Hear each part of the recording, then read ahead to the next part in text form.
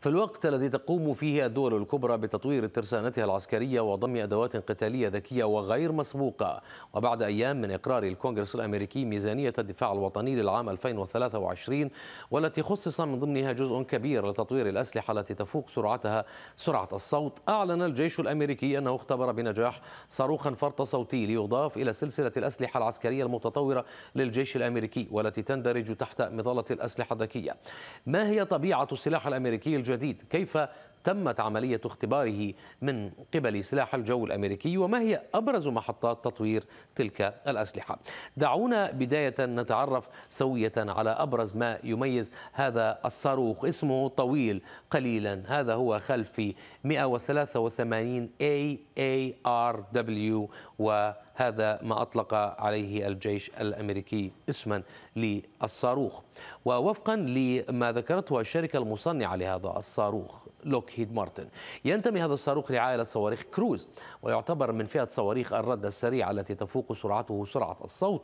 ينزلق للهدف بسرعة 20 ماخ ما يجعله يوجد تأثيرا مكافئا لقنبلة فائقة القوة.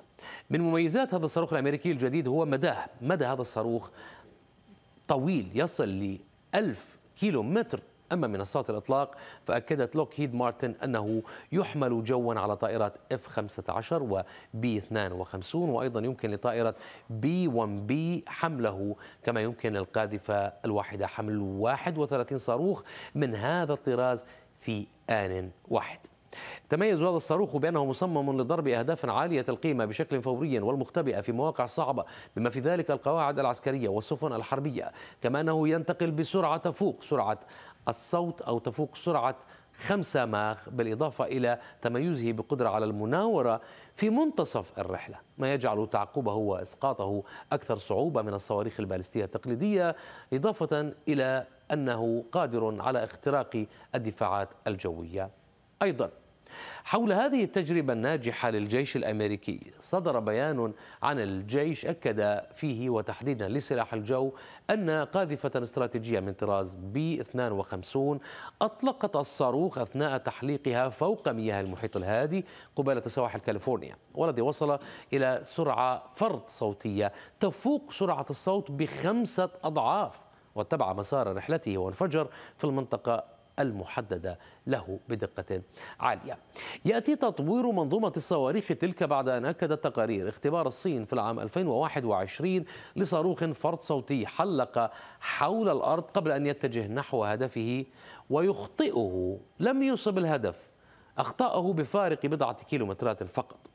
من جهتها أعلنت روسيا أنها استخدمت مرتين على أقل تقدير صواريخ فوق فرط صوتية في أوكرانيا. كذلك أكدت كوريا الشمالية أنها أجرت اختبارات على صواريخ تفوق سرعتها سرعة الصوت من دون أن تتحدث عن نتائج لتلك الاختبارات.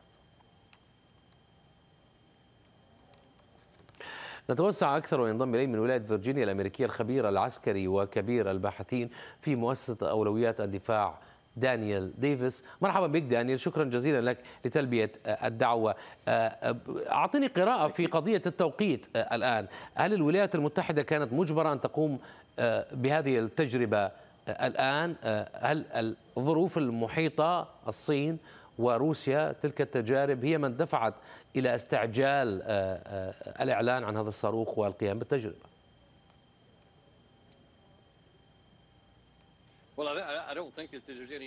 لا أعتقد أن هناك شك في أننا نستفيد من الظروف الحالية لتعزيز الإعلام والدعاية والردع في مجال هذا الصاروخ ولكن التحضيرات مستمرة منذ خمس سنوات. لا يمكننا أن نسرعها. نحتاج دائما إلى وقت. بمعنى أن هذا التطور مخطط له منذ فترة ولكن الإعلان عنه لم يأتي صدفة. خاصة أيضا مع القاذفات الجديدة التي تكلمنا عنها منذ بضعة أيام وذلك أيضا لإظهار قوة أمريكا أمام الدول الأخرى التي لديها هذه القدرات.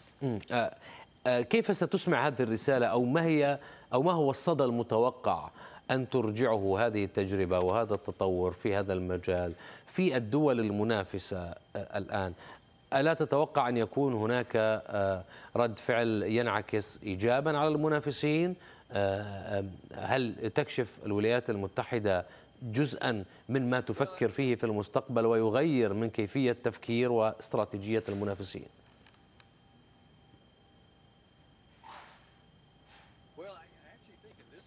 في الواقع أعتقد أن العكس هو صحيح. كما قلتم في البداية الصين وروسيا قامت بتجارب في هذا المجال وهناك استعمال من قبل روسيا لهذه الصواريخ الفوق صوتية وبالتالي لن يؤدي ذلك إلى أي تغير فيما يتعلق بأعدائنا. هم تفوقوا علينا في هذا الإطار وربما هذا التطور هنا سيشجع الخصوم على القيام بإنجازات أكبر على هذا المستوى. هنا ليس هناك لأية دولة قدرات في اعتراض أي نوع من الصواريخ الفوق صوتية ولكن سيكون هناك محاولات. نعرف أن السرعة هي 15 ألف مايل في الساعة أو ميلا في الساعة. وأعتقد أن الاعتراض هو صعب. ولا أعتقد على أي حال أن ذلك يعطينا تفوقا مهما. وهنا السؤال في قضية التفوق الآن. لربما الحديث عن الصواريخ فرد صوتية يعتبر حديث العهد الآن. بناء على التقييمات الأمريكية هل طبعا بالمقارنة مع المنافسين هل الولايات المتحدة متأخرة في هذا المجال. أم أن الجميع لربما يسير في خطواته الأولى في إنتاج هذه الصواريخ أستاذ دانيال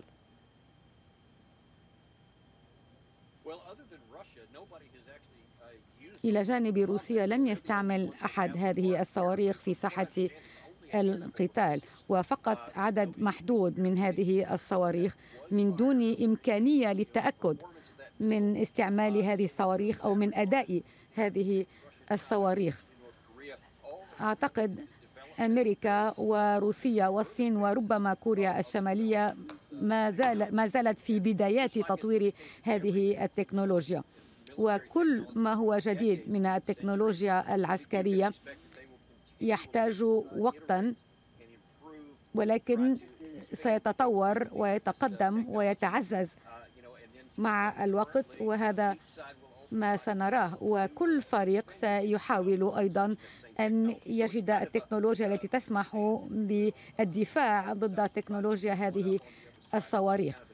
هكذا يحصل تحصل الأمور. طيب آه، وأيضا في إطار ربما إجابتك التي ذكرت فيها قبل آه، قليل آه، والتي قلت فيها بأن هذا الإعلان عن هذا الصاروخ الآن يأتي بعد أيام قليلة من الإعلان عن طائرة قاذفة أمريكية.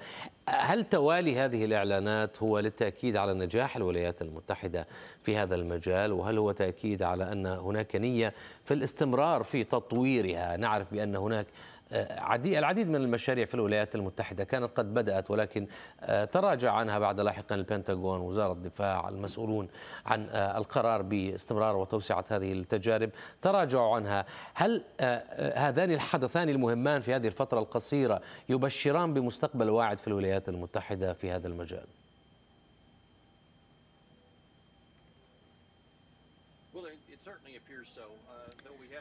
يبدو ذلك طبعا لا يمكننا أن نصدق كل التقارير. هناك سرية لا تسمح لنا بالتأكد من كل التفاصيل. لا يمكننا أن نتأكد. هناك كلام حول ما يمكن أن تكون عليه القدرات الصينية والروسية. طبعا هنا أيضا لا يمكننا أن نصدق ولا يمكننا أن نكذب. لأنه لو كانت هذه الإنجازات حقيقية علينا أن نواجهها من الناحية الدفاعية. أعتقد أن أمريكا تركز على إرسال رسالة في هذا المجال. ونحن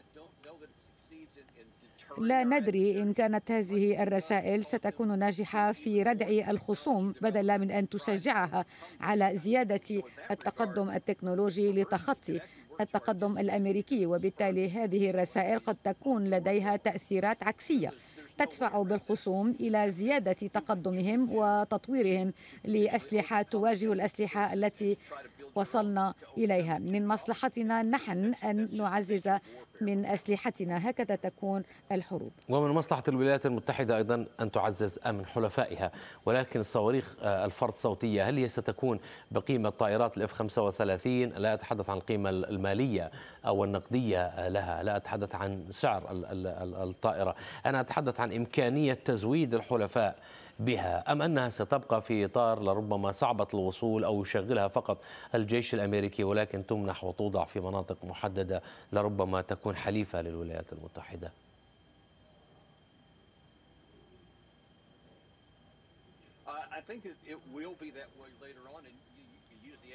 أعتقد ذلك. يمكننا أن نستعمل الاف 35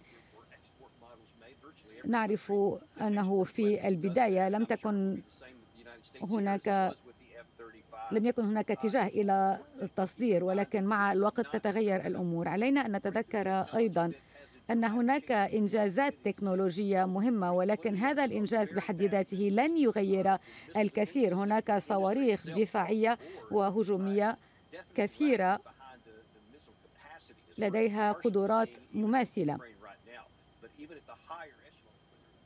على أعلى المستويات حتى إن كانت هناك مواجهات بين الدول العظمى هناك قدرات صاروخية مهمة جدا. طبعا فيما يتعلق بالسرعة فوق الصوتية للصواريخ الباليستية العابرة للقارات ذلك لن يغير الكثير لأن هذه الصواريخ لديها قدرات عالية جدا. أما التركيز فلابد أن يكون أيضا على الناحية الدفاعية. طيب والسؤال ربما الأبرز الآن متى سيدخل آه، آه، أو ستدخل منظومة الصواريخ هذه أو على الأقل هذا الصاروخ نطاق الخدمة، هل دخل بالفعل نطاق الخدمة؟